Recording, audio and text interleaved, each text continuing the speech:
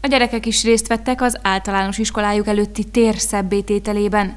Garabiéztek, később pedig fű és mezei virágok magjával vetették be a területet. Otthon is ö, szoktam néha ö, kapa, vagy ö, gerebjézni, és ö, szerintem ö, ö, szebb is lesz az iskola vele, meg ö, még ö, ja, a természet ö, sokkal ö, jobban ö, termeli az oxigént. És akkor egy kicsit úgy meg is lökheted. A gyerekek munkáját a megyei jogú város főkertésze és a polgármesteri hivatal zöld brigádjának tagjai is segítették. A kicsik pedig azt is tudták, hogy a mezei virágos ágyásokkal a rovaroknak is segítenek, amivel pedig mi emberek is jól járunk. Csinálnak mézet, és mindenféle jót csinálnak.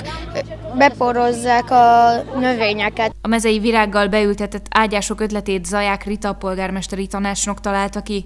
Ő azt mondja, régi terve volt, hogy ilyen területekkel növeljék Szexárd zöld felületeinek számát. De amikor itt láttam, ugye, hogy befejezték a felújítási munkálatokat, és idehordták a földet, és vissza kell itt a, a terepet rendezni, akkor megkerestem főkertészasszonyt, és javasoltam, hogy akkor próbáljuk meg itt ezt a, ezt a virágos rét kialakítást. Zaják Rita azt mondja, a virágosításnak szemléletformáló hatása lehet a gyerekekre, akik az ilyen munkák során már fiatalon megtanulják, hogy az embernek óvnia kell a környezetét, valamint a méhek és más rovarok élőhelyeit.